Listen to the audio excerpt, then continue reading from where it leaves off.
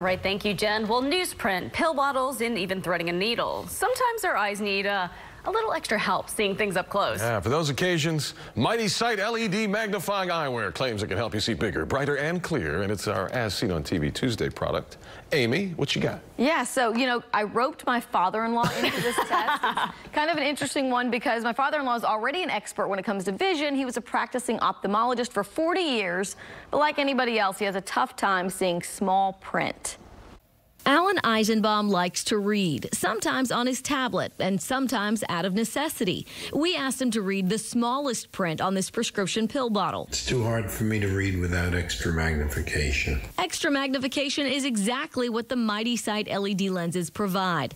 You can wear them alone or over your prescription glasses. First, you have to charge the built-in LED lights with a USB that plugs right into the frame of the glasses.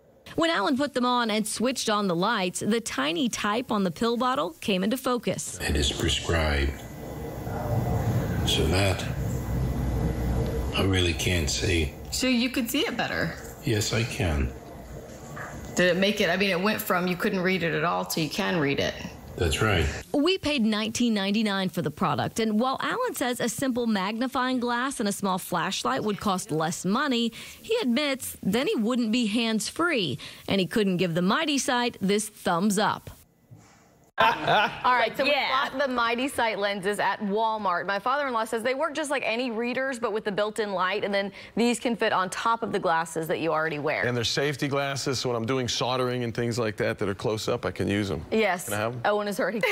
Well, your father-in-law doesn't want it playing back. He said- yeah, he said it's okay. He doesn't want them back. Got the Hope he- best daughter-in-law in the whole world. There, there you go. Merry get the greatest Christmas. he doesn't say much. He's a man of Mr. few words, right? greatest voice. Let's see where your son gets it from.